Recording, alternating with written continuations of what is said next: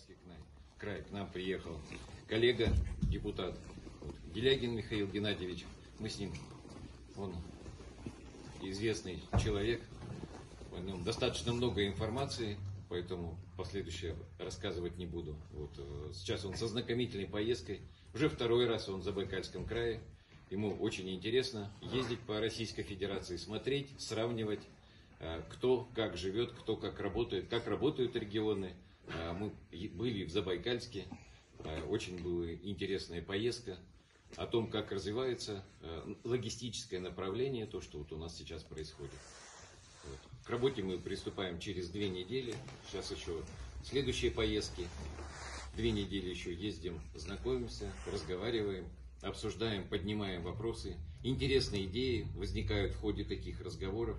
И эти инициативы, эти предложения мы, конечно же, по приезду в Государственную Думу будем э, вносить предложения, а по тем проблемам, которые поднимаются, э, будем контролировать выполнение этих проблем.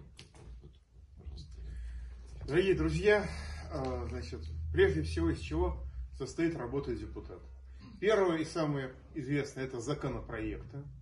Когда мы видим, есть какая-то проблема общефедеральная или есть проблема региональная, которая решается только законом, мы готовим законопроект, этот законопроект вносится. Обычно Единая Россия это дело зарубает, потому что мы как бы от справедливой России. Но если сильно долбить и последовательно эту идею проводить, Дальше или это становится общей темой, это все-таки проходит, или Единая Россия говорит, ладно, ладно, ладно, хорошая у вас идея, давайте мы сами закон, закон примем, себе в актив запишем, ну и вы там не горите. Это тоже работает. Второе направление работы депутата, которое важное, это постоянное взаимодействие с министерствами и ведомствами. Когда просто говорит, ребят, вам нужен скандал или эту проблему можно порешать? Ну, более чем в половине случаев говорят, ребят, пожалуйста, скандальте, у нас как бы мы, мы без вас обойдемся, но достаточно часто проблему удается порешить. И, наконец, последнее, это э, письма людей, которые обращаются, что у нас есть такая-то локальная проблема. И вот локальные проблемы, здесь все, конечно, зависит от региональных властей, но региональные проблемы очень часто удается решать действительно. Потому что одно дело, пишут люди районному прокурору, районный их посылает, они пишут областному или краевому, краевой их посылает, они пишут Генеральную прокуратуру, те отправляют обратно на место, а перед этим они все круги бюрократического ада прошли уже. Вот. А когда э, депутат пишет сразу Генеральную прокуратуру, дорогие друзья, вот все обращения в региональные органы власти ни к чему не привели, пожалуйста, помогите. Иногда получается довольно неплохо. Далеко не всегда, но иногда получается. Значит, что сейчас происходит в стране? В 90-е годы у нас сложилась колониальная модель экономики, была создана, когда страна выводила, вывозила и до сих пор еще вывозит все, что есть, сырье, деньги, людей, все, что есть, вывозят, и, значит, позволяют что-нибудь иногда купить из продукции, и, которая сделана из нашего сырья. Экономическая эффективность посчитали не наши, наши стесняются, посчитали швейцарцы – что вот Россия Германии поставляет, не Китаю, Германии поставляла тогда а, на 20 миллиардов евро сырья в год, и немцы из этого сырья делали на 2 триллиона евро в год продукцию. То есть коэффициент 1 к 100. То есть добавленная стоимость, вся прибыль, они у нас забирают, и мы, вообще говоря, это должны быть наши деньги. Результат этого мы видим, этой политики мы видим здесь, ваш замечательный дом офицеров, очень наглядная демонстрация. И вот мы три раза ночевали. Мы ночевали в Чите, мы ночевали в Даурии, мы ночевали в Краснокаменске. Отопительный сезон не наступил, тепло прекрасно, все три раза отключалась горячая вода. Не потому, что нас кто-то так не любит, а потому, что такая ситуация в крае. И не только у вас в крае. А, а, дальше эта колониальная модель работала, вокруг нее сложилось, так сказать, люди, которые считали, что не просто так должно быть, а это их заслуга, что работает такой гравер страны. И они искренне до сих пор гордятся, что они эту систему разграбления страны построили. После чего их западные, как нехорошее слово, партнеры сказали, ребят, вы знаете, у нас тут кризис, мы тут сокращаем издержки, и вот ваше сырье будет нам обходиться намного дешевле, если вас не будет. Умрите, пожалуйста, и все будет хорошо. Ничего личного, это просто бизнес. Вот мы сейчас находимся в ситуации, когда наше замечательное руководство начинает мучительно осознавать, что все это всерьез. Когда мы читаем про внешнюю политику, смысл ее сводится к тому, мамочка, роди меня обратно, пожалуйста, давайте сейчас договоримся, мы вам что-нибудь еще уступим, мы вам еще что-нибудь подарим, пусть будет как раньше, как в 90-е, как в нулевые, как в 10-е. Так не будет. И государство очень медленно начинает переориентироваться с разграбления на развитие. В этом отношении, как для меня, как для критика этой системы, не странно, но некоторые вещи делаются хорошо. Скажем, еще в 2020 году у нас сменился премьер-министр, и у нас при всех пороках бюджетной системе, при бессмысленности расходования многих денег, при коррупции, при разрушенности проектного дела, когда строят одно, получается другое, когда там построили систему очистки реки Волги за 125 миллиардов рублей, ее построили, а потом выяснилось, что она не работает. Так не потому, что кто-то где-то украл, хотя, наверное, тоже имело место быть, а потому что просто все сооружения, которые построены, они теоретически с инженерной точки зрения работать не могут. И даже ремонтировать нельзя, их нужно делать заново, с нуля. Вот, несмотря на все это, несмотря на все это, а, государство начало выделять средства на развитие, а, выделять точечно, выделять кусочками, потому что в целом экономическое регулирование такое, что у нас дорожают кредиты, у нас абсолютно почти отсутствует защита производителя, у нас произвол монополий, от чего цены летят к небесам. Но при всем этом у нас точечно, кусочно, неправильно, но у нас осуществляется развитие. Вот где деньги дали, где создали особый режим развития, там начинают создаваться рабочие места, что-то начинает развиваться. Недостаточно, совершенно недостаточно, но по сравнению с тем, что у нас было, скажем, в 2019 году, это очень и очень большой прогресс. То есть государство оздоравливается, но медленно. Почему оно оздоравливается? Потому что его подпирают люди. Потому что люди говорят, так дальше нельзя, вы достали, грубо говоря, давайте идите делать нормально.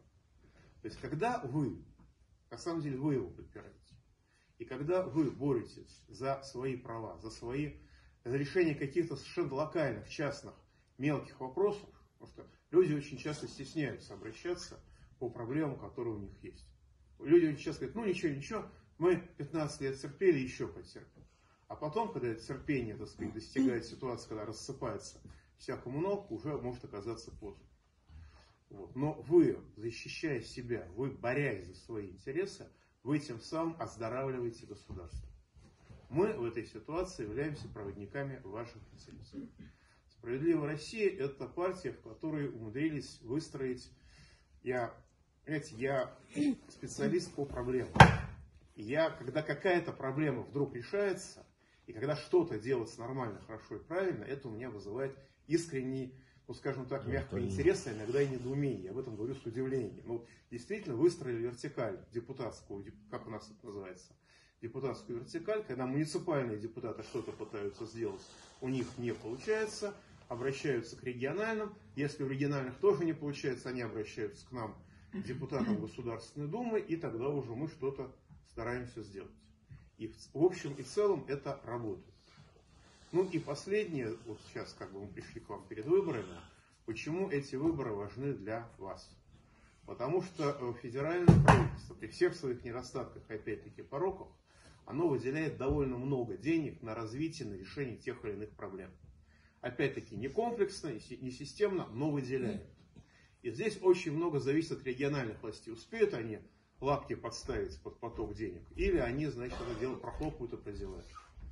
И бывает так, что региональное правительство не знает, а депутаты, которые этим интересуются, все правительственные документы проверяют, шерстят, говорят, вот смотрите, вот-вот, вот есть такой проект, пожалуйста, обратитесь. И когда региональные и даже муниципальные депутаты, и даже в Забайкальском крае есть муниципальные деятели, которые участвуют в федеральной программе, федеральных программах для своих районов через голову даже краевого правительства. Не знаю, правда, что им за это будет через некоторое время, но пока у них получается. То есть вот эта вот активность тех, кого вы выбираете, она может принести плоды не только в части решения проблем, но и в части того, что регион строится в то или иное развитие. Леность региональных чиновников иногда бывает потрясающая. Вот я был в Маре Эл, я был потрясен, у них очень плохо со школами. Школы разрушаются некоторые, хотя правительство только что выделило большие деньги за, а, на, именно на восстановление аварийных школ, на ремонт, на строительство заново и так далее.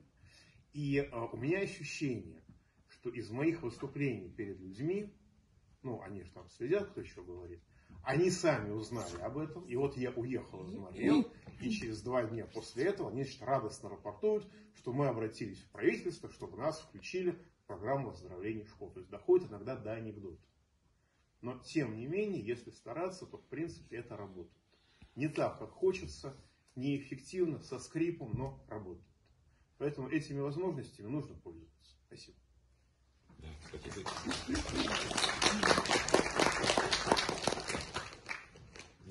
Извините, ради бога, и последнее. Когда говорят, что в федеральном бюджете денег нет, это неправда. У нас все очень хорошо с деньгами в федеральном бюджете. Вот в муниципальном мышь может удавиться от отчаяния.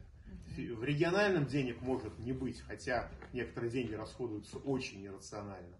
Но в федеральном бюджете деньги есть, и более того, эти деньги на развитие направляются. Спасибо. Извините. Мы действительно, э, Михаил Геннадьевич подробно рассказал о командной работе. Э, вот здесь на территории Забайкальского края мы действительно хорошо удалось выстроить. Здесь у нас есть муниципальные депутаты на территории Борзинского э, района. Есть помощник, который непосредственно является вот, Иван Матафонов. Здесь это, бегает, помогает. В смысле, я его прямо сейчас его глазами не вижу. Вот. Активно эта работа выстраивается. Те обращения, которые поступают, активно подключаюсь и взаимодействую с ними. А, были обращения от граждан относительно Даурского заповедника. Там жители а, написали обращение о том, что со старой дороги был снят асфальт, и на территории заповедника его, соответственно, там высыпали. Вот. Мы туда, я написал обращение на директора э, заповедника. Он ответил, что таких нарушений нет. Ну, его наглость удивила. Мы э, в одну из командировок приехали и зафиксировали этот факт, направили заявление в прокуратуру. Прокурор выписал предписание, установил эти нарушения, заставил дорожников работать. Вывести это, рекультивировать и взыскать сумму с нарушителя. То есть они за это заплатили. Вот подобная работа проводилась. В ковидный период активно работал для того, чтобы кислородный концентратор поступил сюда, на территорию Борзинской больницы, и мы его там подталкивали для того, чтобы кислород не возить, с Иркутска, по-моему, в тот период возили кислород, и в достаточном количестве, чтобы он был бесперебойно. Обращались различные граждане. Одна из э, бабушек написала обращение «Э, «Помогите купить э, слуховой аппарат». Э, обратился в Министерство социальной защиты, они пошли навстречу, оказали содействие, приобрели подобный кислородный концентрат. Пятнадцатая школа, э, когда выстраивалась очередность ремонта капитального э, школы, то проводил работу для того, чтобы подвинуть ее коллектив школы и сами школьники обращались, чтобы ускорить, родители школьников обращались чтобы ускорить ремонт. Вот поработали, и благодаря этому капитальный ремонт пошел не вот в следующие годы, которые должны были 25-26, а он уже непосредственно завершен. Сейчас обращалось э, училище для того, чтобы тоже произвести капитальный ремонт. Но там эти программы только со следующего года начинают работать из федерального бюджета, а по краевому бюджету у нас немножко сложновато. Из перспектив Борзинского района здесь э, самое главное из того, что сейчас приходит, это развитие транспортного коридора, который у нас идет на Китайскую Народную Республику. Борзинский район попадает в зону развития логистических вот этих компаний.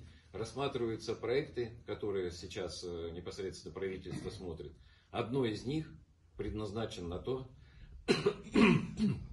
что здесь, на территории Боринского района, э, сортировать уголь, ну, там, не знаю, один из вариантов – паковать его в контейнера и направлять туда, потому что э, не хватает вагонов для того, чтобы туда перерабатывать, а контейнера все идут пустые.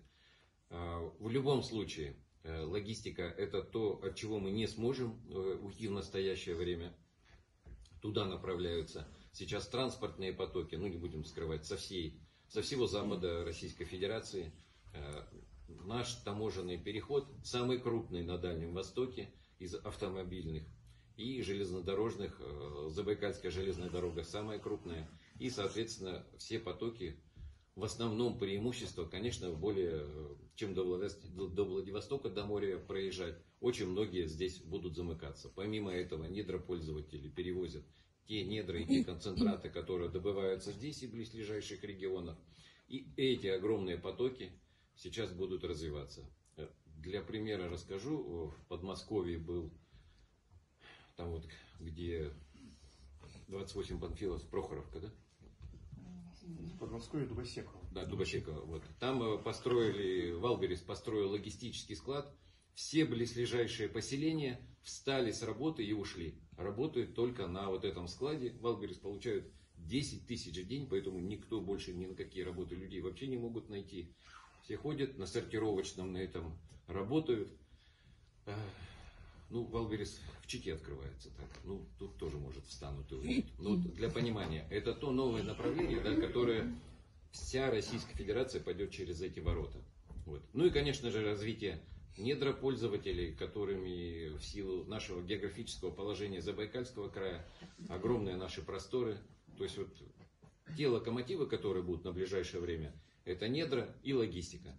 Вот. То, о чем говорит Михаил Геннадьевич, конечно же, мы душой болеем, чтобы мы перерабатывали все это, и был бы конечный продукт, сделанный нами руками. Но это следующий этап.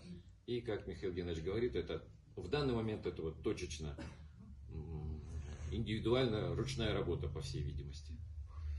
И Юрий Анатольевич очень скромный человек, хотя это странно говорить про политику, да, он умолчал о своем выдающемся достижении. Дело в том, что принято как бы, решение о том, что э, все дороги, которые связаны с погранпереходами, они уходили под федеральное подчинение. Это касается не только непосредственно самого погранперехода, но и все, что связано с доставками груза на этот погранпереход. И все, что, и все, что вокруг. То есть э, дороги, которые сейчас муниципальные, дороги сейчас, которые краевые, они э, будут становиться федеральными. Разницу, я думаю, вы знаете лучше нас намного. На глазах. Потому что мы проехались по одним, мы проехались по другим, но когда едешь по федеральной трассе, у вас здесь, ну кроме перехода через Суходол, там возникает ощущение, что вы просто как бы в раю, просто дорожный. Вот. То есть это действительно очень серьезное достижение, и оно коснется вашего района тоже.